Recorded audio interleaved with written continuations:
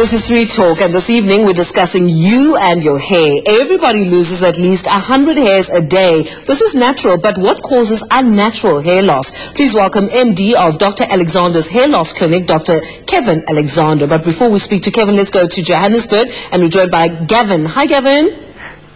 Hi, Noleen. Hello. Thanks for such a wonderful show. Just for you, Gavin. Thanks for calling.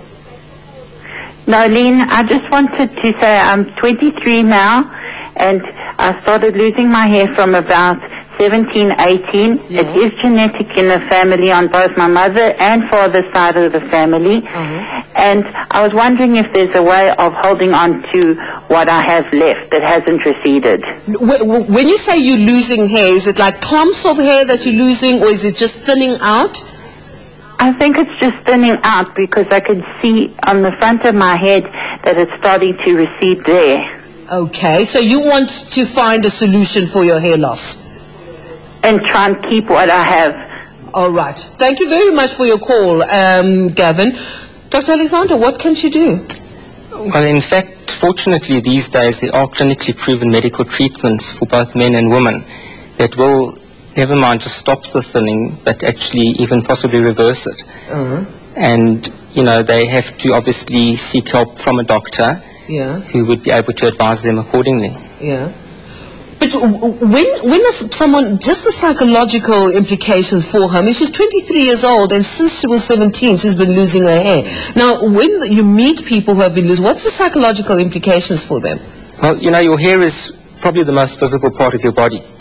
And losing your hair can be totally devastating. It can alter your appearance. It can even age you by up to 20 years. Yeah. And of course, this will have a major blow on your self-esteem, your self-confidence, and that will translate into how successful you are in the workplace and on a social level. Yeah, yeah. That's devastating. Nobody wants to lose their hair. Here's an SMS. What causes lice and how can it be treated, Lucy? Mm. Traction alopecia.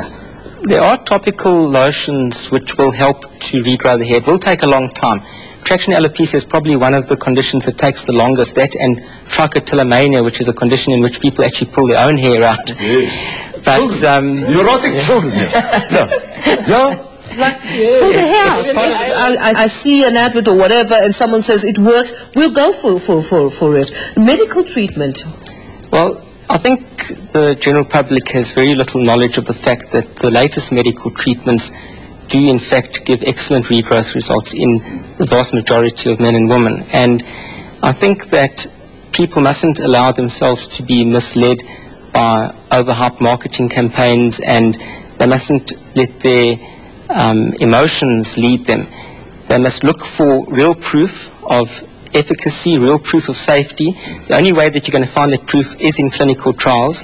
And real prescription-only, clinically proven medicines do exist that can grow people's hair back in men and women mm. and have high success rates. Mm. And these have all been through clinical trials. They have a sound scientific basis for working. And they have a high degree of efficacy and safety. So one shouldn't go looking for other avenues. Mm. What's the problem with being bald? I mean, other there are avenues. issues that affect you and your hair, from baldness to dandruff. Let's go to Anonymous in Cape Town. Hi, Anonymous. Hi, Noleen. Great show. Thank you. I would like to know, I've got a problem with grey hair. I'm 39 years old now, and I color my hair every month to keep the grey hair away. Is there anything that I can use um, and besides color my hair? All right, Anonymous, thank you very much. I'm sure every woman wants to know that. And man, well, is there anything else, Kevin? There are products that make the claim to be more permanent in terms of keeping the grey away. The only problem is that they contain certain toxic chemicals like lead acetate.